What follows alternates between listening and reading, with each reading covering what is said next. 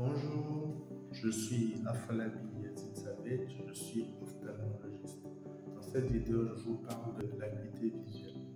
Elle permet de mesurer la capacité de l'œil à distinguer un objet de manière nette, de loin comme de près. De loin, le test se fait avec une échelle d'acuité placée à 5 mètres. L'examen consiste à lire un ensemble de lettres écrites sur plusieurs lignes du plus grand au plus petit? Euh, l'échelle la plus utilisée est celle de Monnoyer et permet de chiffrer l'acuité visuelle de loin de 1 à 10 dixièmes.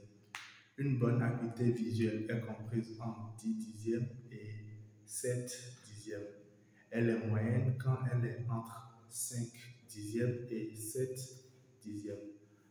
Quand l'acuité visuelle est inférieure ou égale à 5 dixièmes, on rentre dans le cadre des déficiences visuelles dont fait partie la cécité.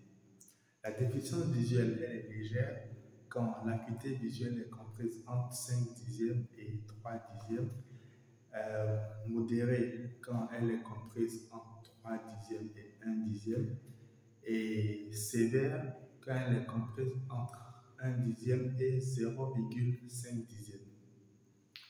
Quand l'acuité est inférieure à 0,5 dixième, on parle de cécité, contrairement au lapsus qui s'est glissé dans la précédente vidéo.